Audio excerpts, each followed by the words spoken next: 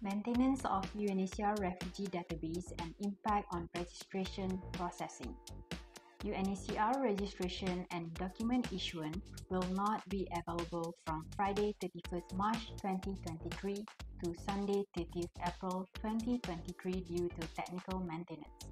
These services will resume on 1st May 2023. Refugees and asylum seekers whose document will expire during this period